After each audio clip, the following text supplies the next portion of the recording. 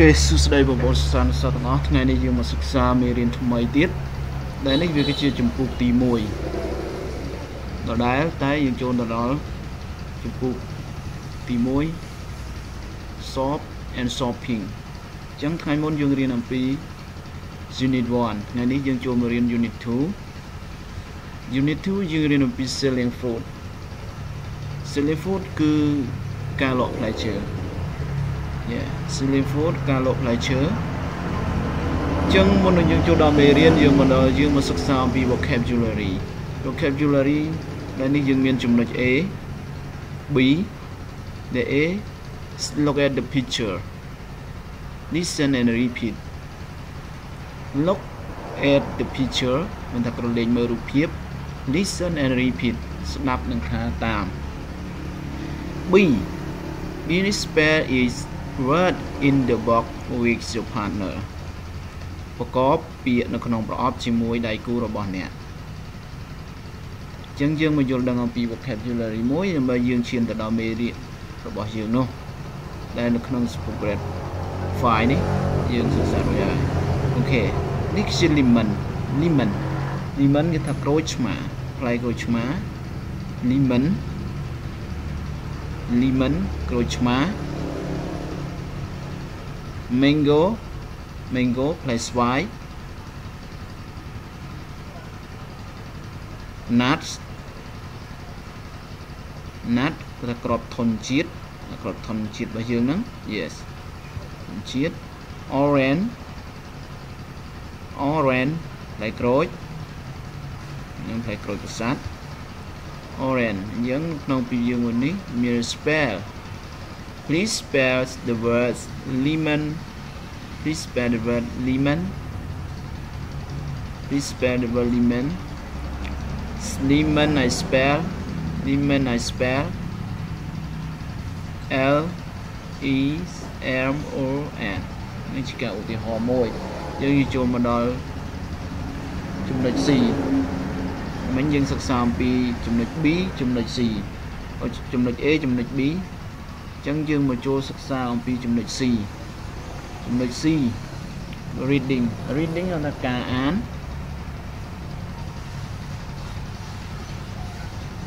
Number 1 Listen to your teacher and repeat Listen to your teacher and repeat ស្ដាប់គ្រូរបស់អ្នកហើយថាតាម ចឹងយើងចូលមកយើងចូលមកអានអត្ថបទហើយនឹងបកប្រែទាំងអស់គ្នា Miss Kim has a fruit shop in the market she sells many fruit in her shop she sells lemon mango orange and nuts her son helps her after school he used a knife for cutting fruit.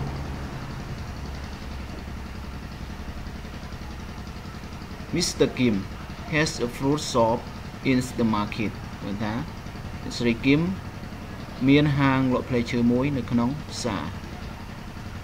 ណែអ្នកស្រីស៊ីមមានហាងលក់ផ្លែឈើមួយនៅក្នុងផ្សារ She sell many fruit in her shop នាងលក់ ផ្លែឈើជាច្រើននៅក្នុងហាង She sell lemon mangoes orange and nuts នាងលក់ផ្លែក្រូចឆ្មាផ្លែស្វាយក្រូចហើយនិងក្របធម្មជាតិ Her son helps her after school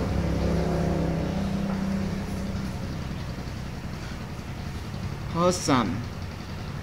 has her after school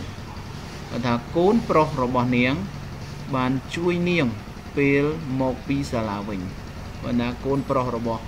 គាត់នឹងមកបានជួយគាត់ពេលមកពីសាលា He used a knife for cutting fruit គាត់ប្រើកំបិតសម្រាប់កាត់ផ្លែឈើយើងគាត់ប្រើកំបិតសម្រាប់កាត់ផ្លែឈើ yes នឹងគាត់ប្រើកាំបិតសម្រាប់កាត់ផ្លែឈើ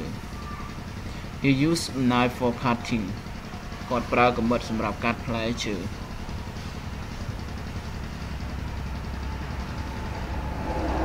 Tool number 2 number 2 ask and answer the question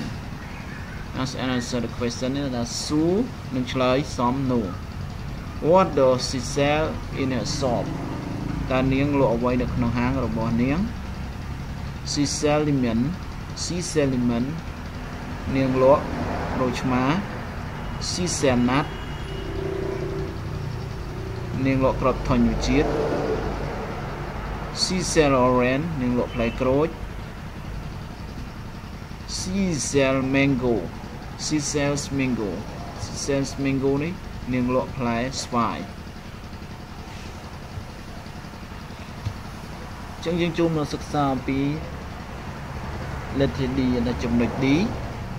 conversation. Conversation is number 1 listen to your teacher and repeat. ស្ដាប់គ្រូរបស់អ្នកហើយថាតា one the vocabulary. Vocabulary មាន can អាច mangoes white orange ផ្លែក្រូចពោធិ៍សាត់ nuts គ្រាប់ធម្មជាតិ lemon នៃក្រូចឆ្មាយើងយើងចូលមកដល់សិក្សាអំពីសន្ទនាពេលសន្ទនា Miss Miss Kim នេះគឺ Miss Linda Can I have juice តើខ្ញុំអាចជួយអ្វីអ្នកបានទេ Yes I want to buy mangoes please Yes I want to buy mango please បាទខ្ញុំចង់ទិញផ្លែស្វាយ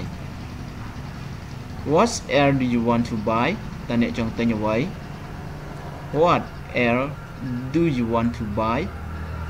តើអ្នកចង់ទិញអ្វីទៀតទេ I want to buy orange please ខ្ញុំចង់ទិញផ្លែក្រូច Here you are Here you are នេះ next Thank you ដល់អរគុណច្រើន anything else តើការទិញអ្វីផ្សេងទៀតទេ Yes I want that please បាទខ្ញុំចង់ទិញគ្រាប់ធម្មជាតិ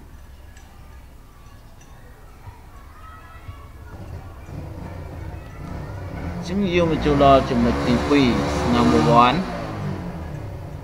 practice with your partner នៅក្នុងសិភៅ grade 4 grade 5របស់យើងឲ្យយើងអនុវត្តនៅក្នុងសិភៅអញ្ចឹងខ្ញុំអត់បានលើកយកមកទេហើយយើងអនុវត្តឲ្យខ្លួនឯង practice with your partner ថាអនុវត្តជាមួយដៃគូរបស់អ្នក writing letter is writing ការសរសេរ write the missing words in the notebook សរសេរពាក្យដែលបានបាត់នៅក្នុងសៀវភៅសរសេររបស់អ្នកចូលសរសេរពាក្យដែលបានបាត់នៅក្នុងសៀវភៅសរសេររបស់អ្នក